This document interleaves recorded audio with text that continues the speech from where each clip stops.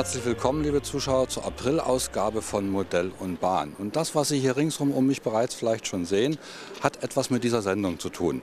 Bevor wir dazu aber kommen, erst unsere Themenübersicht. Mit Volldampf durchs Elbtal, Dampfzug Sonderfahrten zum fünften Dresdner Dampfloktreffen und Loktest. Rocco E-Lok RH42 in H0 mit Dr. Franz Rittich. So, liebe Zuschauer, nun begrüße Sie ganz herzlich hier von der Berichterstattung des fünften Dampfloktreffens in Dresden. Und zu meiner Seite begrüße ich Jörg Baumgartel, das ist der Chef von diesem hervorragenden Club, die seit vielen Jahren sich immer wieder darum bemühen, hier diese alte Eisenbahn lebendig zu halten. Und es ist ja dieses Jahr ein Jubiläum, Jörg Baumgartel, oder? Das fünfte Dresdner Dampfloktreffen. Ja, mittlerweile sind schon wieder fünf Jahre, dass wir die neue Veranstaltungsreihe fahren. Äh, nach dem Bau der neuen Lokomotivbetriebswerkstatt unter neuen, leider eingeengten Bedingungen. Aber ich freue mich sehr, dass durch den zunehmenden Zuspruch des Publikums neuerdings auch bei unseren Sonderzügen ins Elbtal sich die Sache so entwickelt, dass wir eben dieses Jahr elf betriebsfähige Dampflokomotiven während der Festtage zeigen konnten. Das ist natürlich eine ganze Masse, die Sie eigentlich hier heute bzw. die drei Tage präsentieren können. Wir haben uns ja jetzt zwei Tage mit an die Strecke gestellt, um den Zuschauern auch ganz besonders mal diese Sonderfahrt zu zeigen mit schönen, wunderschönen Landschaftsaufnahmen. Es waren viele Menschen unterwegs. Leider war es gestern nicht so doll wie heute. Der heutige Sonntag hat heute alles rausgerissen, oder? Ja, endlich ist der Frühling da. Die Sonne zeigt sich nach Wochen wieder. Es war schon sehr mürben, dieses trübe, nasskalte Wetter, vor allem eben immer noch im Frostbereich. Wir hatten ja bei den Aufbautagen hier noch Schnee auf dem Gelände an Stellen, wo dann Händlerstände hin sollten und so. Das war ja richtig ätzend. Können Sie denn heute zum Sonntag, also ist ja der letzte Tag eigentlich von äh, der Ausstellung hier, schon ungefähr sagen, wie viele Leute hier waren? Also ich kann sagen, verbindlich, dass wir gestern schon eine Gesamtbesucherzahl äh, von knapp 7000 erreicht haben. Und ich gehe mal davon aus, dass wir heute auf 11.000 bis 12.000 kommen. Das wird dann die Endabrechnung zeigen. Aber es werden deutlich über 10.000 Leute werden wahrscheinlich mehr, als Sie erwartet haben, denke ich mal, oder? Ja, es übertrifft mittlerweile meine Erwartungen. Ja. Ich habe die Situation, dass uns schon die ersten Eintrittskarten ausgehen und wir vom, auf Bestände vom letzten Jahr zurückgreifen müssen. Dann wollen wir doch mal ganz ein Wort verlieren an IGBW Dresden-Altstadt, so heißen Sie offiziell. Ja. Wie viele Mann scharen Sie denn um sich und äh, was machen die alle hier? Ja, unser Verein hat eine Mitgliederzahl von knapp 90 jetzt, wobei jetzt an der Festvorbereitung und der Durchführung ungefähr 30 30 Aktive beteiligt sind.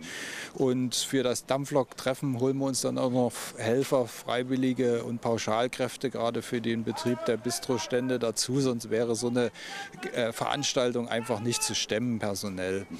Und äh, ja, viele Kameraden sind hier das ganze Jahr beschäftigt, die Fahrzeuge zu pflegen, die Anlagen in Ordnung zu halten, weiter auszubauen. Wir hatten gerade auch noch bis kurz vorm Dampfloktreffen einen Heizungsumbau in unserem Sozialgebäude mit der Zielstellung, dort die Situation zu verbessern und vor allem äh, sparsamer mit der Heizenergie umgehen zu können, ist das modernisiert worden.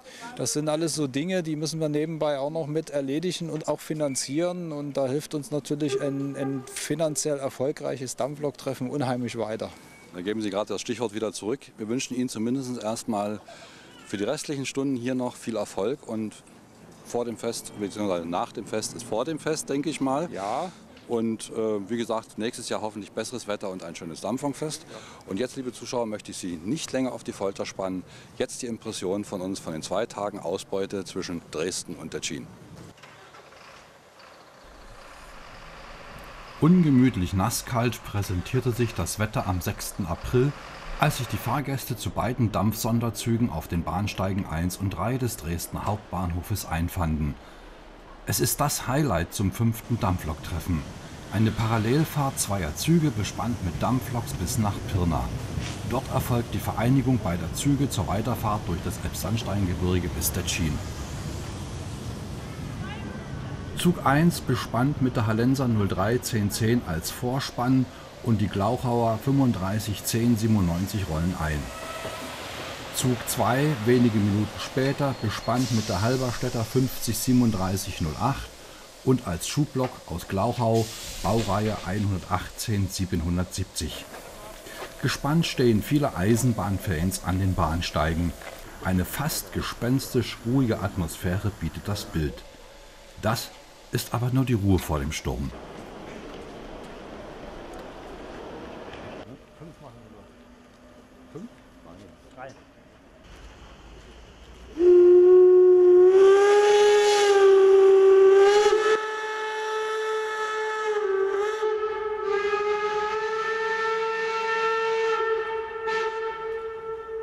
Mit voll geöffneten Zylinderhähnen fahren die Dampfloks jetzt ab.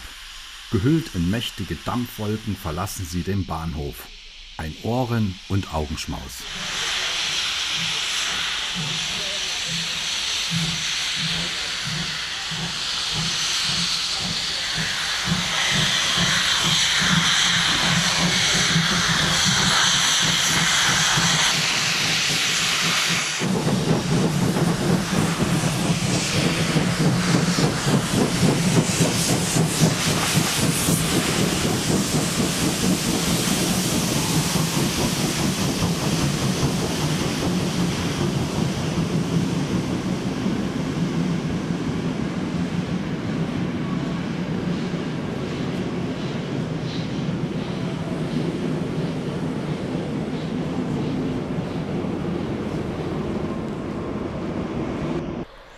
Der Königstein ist in Wolken gehüllt.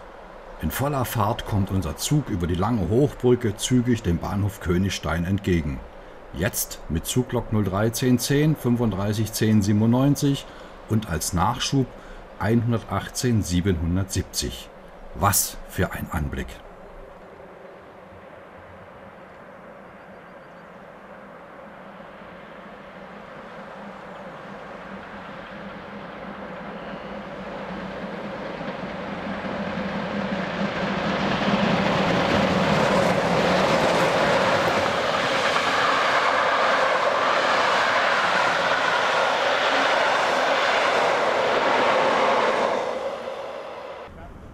Am Bahnhof Bad Schandau stehen nur wenige Schaulustige, um den Zug zu empfangen. Ein kurzer Halt mit Personalwechsel steht bevor.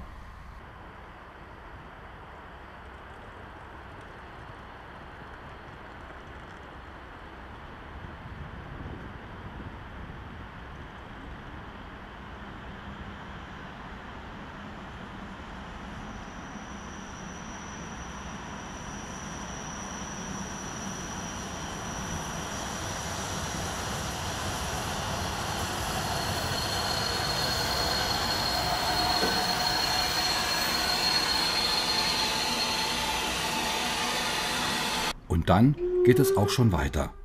Mit entsprechendem Spektakel. Ein Dampfzug eben.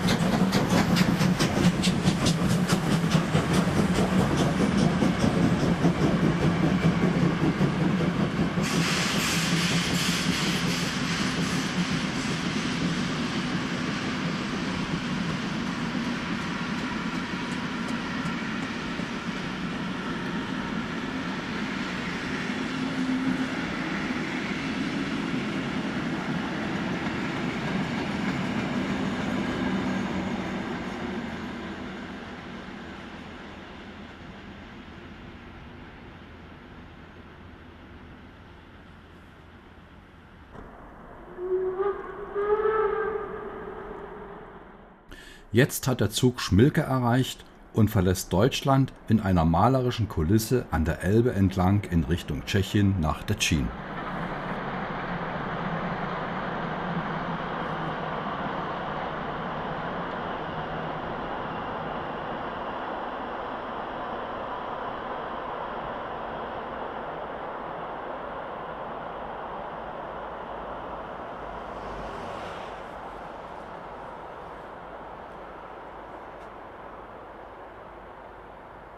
In Raten passen wir den Zug auf der Rückfahrt nach Dresden ab. Das sind Bilder, die Erinnerungen wieder wach werden lassen.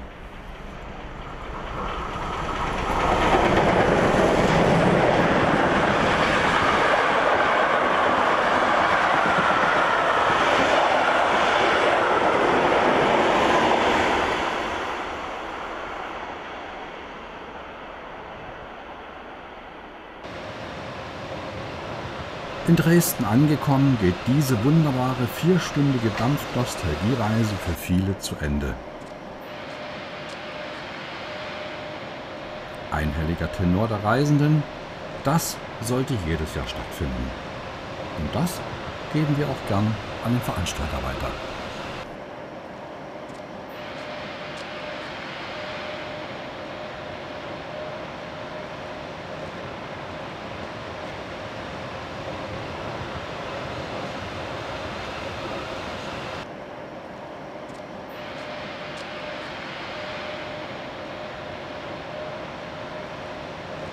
Soweit die Bilder vom fünften Dampfloktreffen hier in Dresden, liebe Zuschauer. Und jetzt kommen wir gleich zu unserem zweiten Thema. Wie in der vergangenen Sendung bereits angefangen, zum Loktest mit Dr. Franz Rittig. Diesmal testen wir die Rocco-Lok der Baureihe 1042. Guten Tag, liebe Modellbahnfreunde. Ich darf Sie alle recht herzlich zu unserem zweiten Lokomotivtest begrüßen. Und wie Sie unschwer erkennen können, sind wir wieder in den Räumlichkeiten des Modellbahnclubs Frankenhain in Thüringen. Das erste Modell, das wir uns heute näher anschauen werden, ist das H0-Modell der Elektrolokomotive der Baureihe 1042 der österreichischen Bundesbahn. Das Vorbild dieses Modells ist 50 Jahre alt und aus diesem Grunde hat die Marke Rocco sich entschlossen, eine Limited Edition, das heißt eine begrenzte Auflage dieses sehr schönen Modells vorzustellen. Ich darf zunächst einmal die Verpackung vorstellen. Sie fällt dadurch auf, dass das äh, Modell in einem silbergrauen Schuber enthalten ist, aus dem wir den Umkarton zunächst einmal herausnehmen müssen.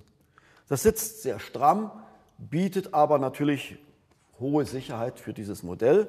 Ich ziehe das mal hier ab kein Problem, lege das hier hin.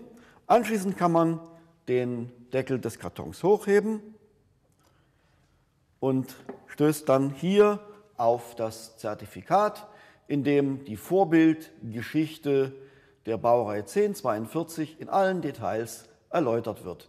Hier erfährt der Modellbahner, was er in den Händen hält, womit er sich beschäftigen kann, wie die Lok eingesetzt werden kann. Auch das darf ich mal hier rübersetzen. Als nächstes wird die bei der Marke Rocco übliche Schaumstoffplatte entnommen. Auch die lege ich mal hier drüben ab. Und dann ist das Modell zum ersten Mal sichtbar. Um es geschützt herausnehmen zu können, nimmt man die Folie in die Hand, ganz vorsichtig mit beiden Händen und zieht das Modell sehr vorsichtig nach oben ab. Ich darf das mal hier ablegen. Sie sehen, ich kippe das Modell auf seine Räder, nehme diese durchsichtige Kunststoffhaube ab und das Modell ist frei. In der Farbgebung und Bedruckung des Jahres 1984 erscheint das Modell in Blutorange und Beige.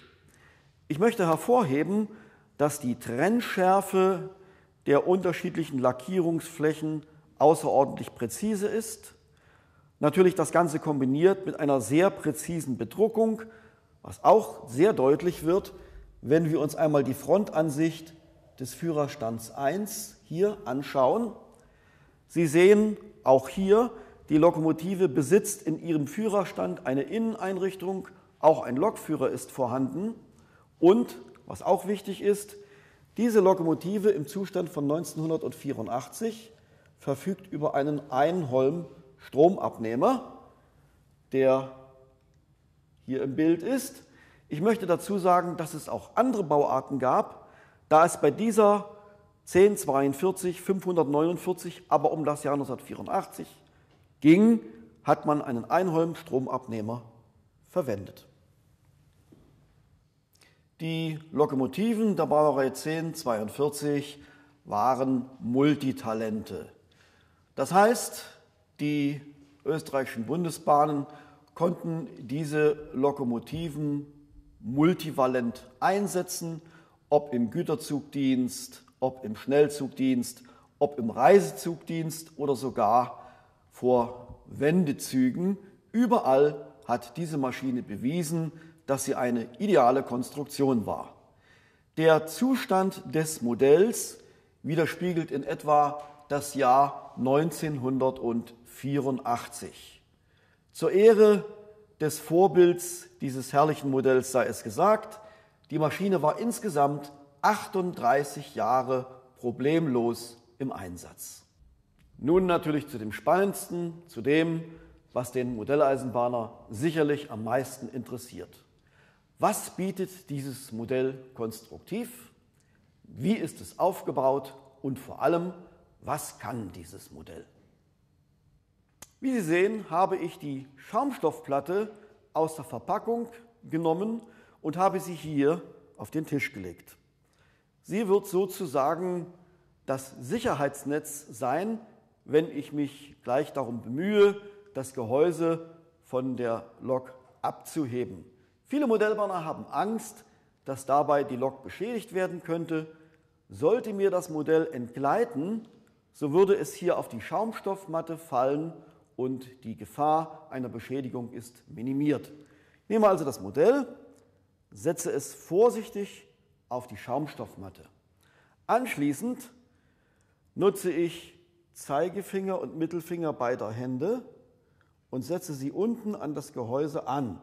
Während ich mit dem Daumen etwa in mittig Gehäusedach runterdrücke, dann ziehe ich die beiden Seiten auseinander und ganz weich lässt sich das Gehäuse abheben. Wir haben hier nun den Einblick in das Innenleben dieses Modells. Das Modell repräsentiert den neuesten Stand der Modellbahntechnik. Das Innenleben wird zunächst erst einmal bestimmt durch den CIMO Sound Decoder, eine achtpolige Schnittstelle und einen Lautsprecher, der niederohmig ausgelegt ist. Niederohmige Lautsprecher haben den Vorteil, dass eine größere Lautstärke möglich ist und dass im Hinblick auf die Frequenz die Höhen und Tiefen des, so will ich einmal sagen, implantierten Sounds wesentlich deutlicher, prägnanter zum Ausdruck kommen. Nun zu all dem, was das Logmodell kann. Wir nutzen dazu natürlich die moderne Digitaltechnik und als Zentrale dient uns die Z21 der Marken Fleischmann und Roco. Wir werden jetzt also alle einzelnen Funktionen des Lokomotivmodells vorstellen. Ich gebe die jeweilige Funktion vor und mein Kollege Diplom-Ingenieur Wolfgang Wutzmer wird die entsprechende Funktion realisieren. F0 Licht einschalten. F0 Licht ausschalten. F1 Sound einschalten. Der Sound fährt jetzt hoch.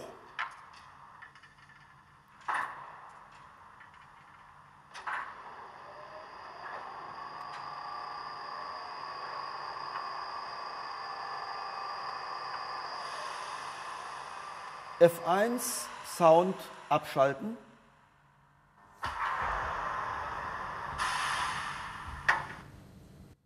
F2 das Lokomotivsignal in Form des Lokomotivhorns hoher Ton.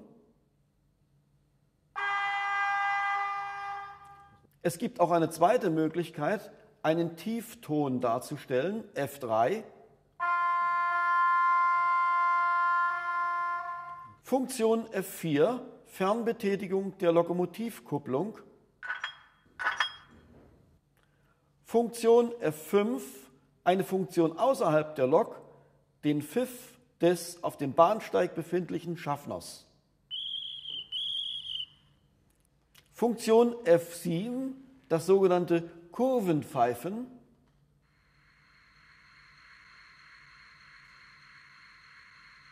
Es handelt sich um jenes Geräusch, das erzeugt wird, wenn die Radgrenze an den Schienenflächen reiben. Funktion F8 Sanden. Es ist die Funktion, wenn Sand vor die Radsätze gedrückt wird, um ein besseres Anfahren zu ermöglichen. Nun die Funktion F9, Betätigung des Lokomotivkompressors.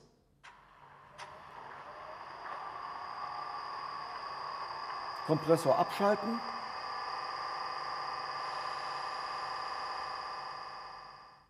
Funktion F10, es ist wieder eine externe Funktion.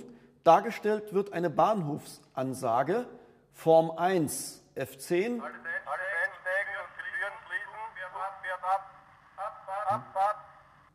Danke.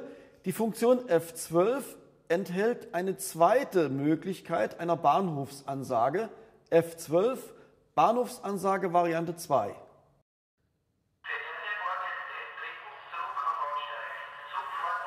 Wir kommen nun zum nächsten Kapitel unserer kleinen Testreihe. Wir werden jetzt die Geschwindigkeit messen.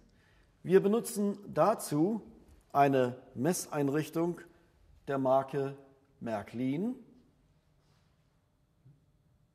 die auf der Basis von zwei Lichtschranken funktioniert. Das heißt, die Geschwindigkeit unseres Lokmodells wird beim Durchfahren durch diese beiden Lichtschranken hier aufgenommen. Die Verwendung dieses Geräts hat den Vorteil, dass wir den subjektiven Fehlerfaktor im Grunde genommen völlig ausschalten. Ein subjektiver Fehlerfaktor würde sich maximal einschleichen, wenn wir beispielsweise eine Stoppuhr benutzen würden. Wir können hier also den Fehler völlig ausschalten. Der zweite Vorteil der Verwendung dieser Vorrichtung besteht darin, dass wir unabhängig von der Baugröße messen können. Das heißt, es ist dieser Messeinrichtung im Grunde genommen gleichgültig, ob wir in den Baugrößen H0, TT, N oder Z messen. Und der dritte Vorzug dieser Messeinrichtung besteht darin, dass wir unabhängig davon, ob wir ein analog oder digital funktionierendes Modell verwenden, diese Messeinrichtung einsetzen können. Wir werden jetzt die Fahrgeschwindigkeit des Modells testen. Das erfolgt auf digitaler Basis.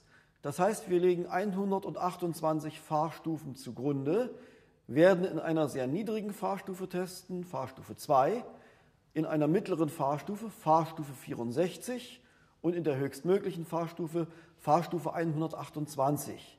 Wir testen also die Geschwindigkeit der Lok in Abhängigkeit von den Fahrstufen, nicht in Abhängigkeit von der Spannung, wie es im analogen Bereich möglich wäre. Wir haben unserer Geschwindigkeitsmessung mit Hilfe der Digitalzentrale Z21 128 Fahrstufen zugrunde gelegt. Wir messen in der Fahrstufe 10 als der untersten möglichen Fahrstufe wir messen in der Fahrstufe 64 und wir messen in der Fahrstufe 128. Die Fahrstufe 10 haben wir deshalb wählen müssen, weil unterhalb dieser Fahrstufe die Bewegung der Lokomotive realistisch so langsam ist, dass wir den möglichen Messbereich unseres Geräts unterschreiten. Wir haben also feststellen müssen, dass wir die Fahrstufe 10 wählen mussten um einen Geschwindigkeitswert festzustellen. Es spricht aber für die Lokomotive, dass sie auch unterhalb des Messbereichs unseres Geräts fahren kann, dann aber unglaublich langsam ist. Sie bewegt sich im Grunde genommen nur wenig schneller als ein Minutenzeiger auf der Armbanduhr.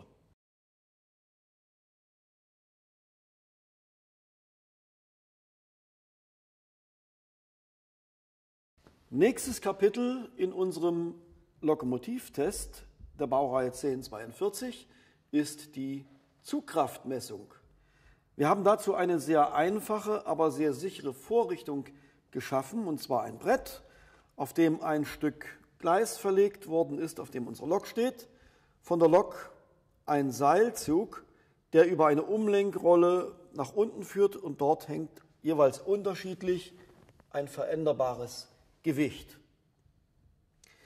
Die Umlenkung über die Seilzugrolle erfolgt über eine Welle, die auf beiden Seiten spitzen gelagert ist. Die Umlenkrolle selbst, auch sehr leichtläufig gelagert, ist auf dieser Welle beweglich, sodass wir einen sehr geringen Reibungswert haben. Wir haben die Möglichkeit, aus diesem Gewichtssatz hier unterschiedliche Gewichte anzuhängen. Bei unserem ersten Versuch haben wir einmal 50 Gramm angehängt und werden jetzt versuchen, ob die Lok in der Lage ist, diese 50 Gramm zu bewegen.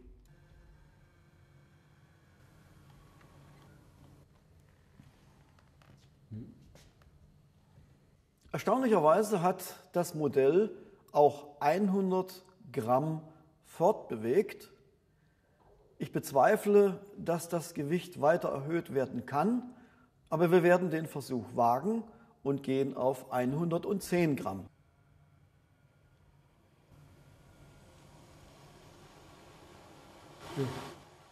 Was war's?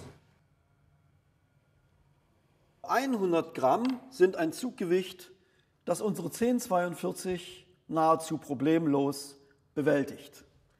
Was nicht mehr geht, sind 110 Gramm. Hier hat die Lok ihre Möglichkeiten überschritten. 110 Gramm kann die Lok nicht mehr ziehen.